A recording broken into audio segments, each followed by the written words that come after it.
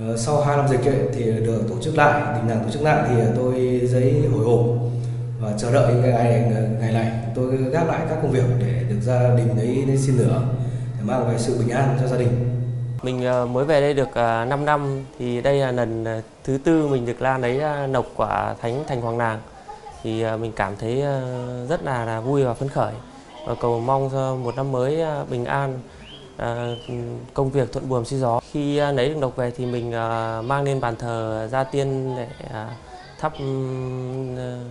lên trên bàn thờ và cầu mong các cụ gia tiên tiền tổ nhà mình cũng phù hộ cho gia đình, con cháu sang năm mới được mạnh khỏe, bình an về công việc gặp nhiều may mắn.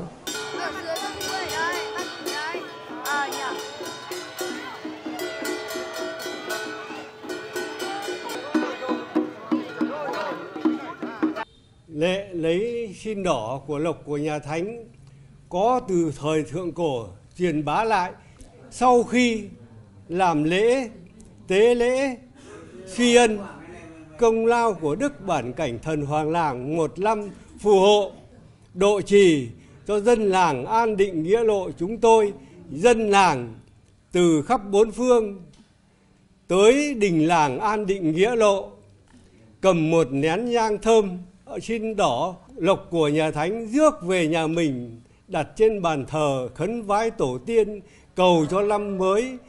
mưa thuận gió hòa, gia đình có cuộc sống ấm no và hạnh phúc.